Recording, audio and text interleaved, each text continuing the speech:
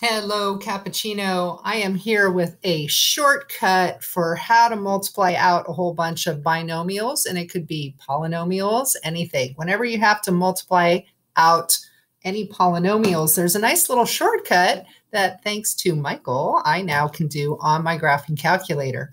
So if I want to multiply these out, and you know how you would do your distributing, it's really easy to get lost in the negatives. So it would be nice to have a way of multiplying this out um, using technology. So this is one way that we came up with today in class, uh, thanks to Michael. So we're going to go y equals, and we're going to enter this in as if we were going to graph it.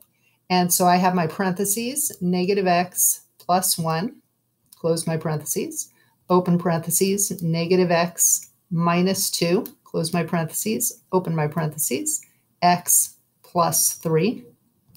So there it is. You could graph it, have a look at it, make sure that you entered everything in right. You don't get an error. Okay, so there it is. Beautiful.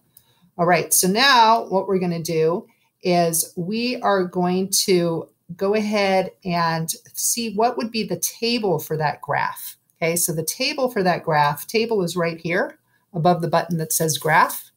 So we're going to go second graph. That brings up the table.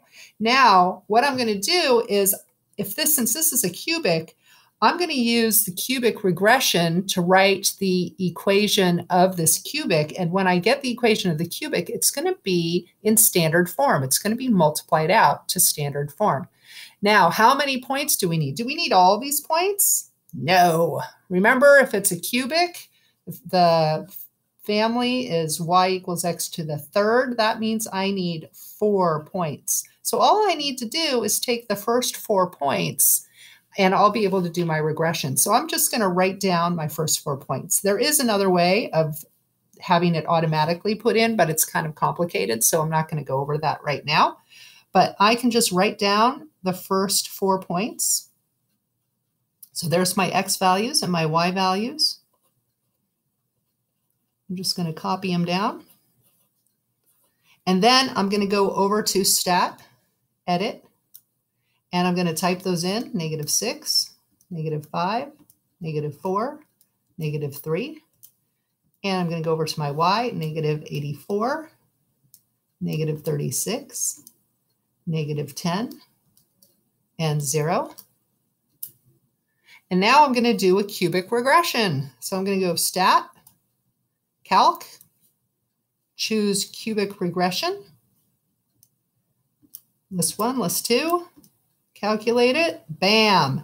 So now it's giving me my standard form. So this in standard form is going to be y equals, my a value is 1, so that's x cubed, 1x cubed, plus 4x squareds, plus 1x minus 6 okay? Because my A is 1, my B is 4, my C is 1, and my D is negative 6. Standard form, and I didn't lose any negatives.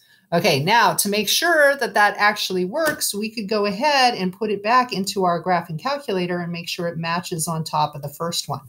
So I'm going to go ahead and put this in, x cubed plus 4x squared plus x minus 6. Okay, so I've entered that in. Now when I graph it, my blue and my red curve should be on top of each other. So there was the blue one. Now I'm waiting for the red one, and it matches perfectly. Bam! Multiplying out polynomials using the graphing features on our graphing calculator. Mic drop. That's it. Very cool.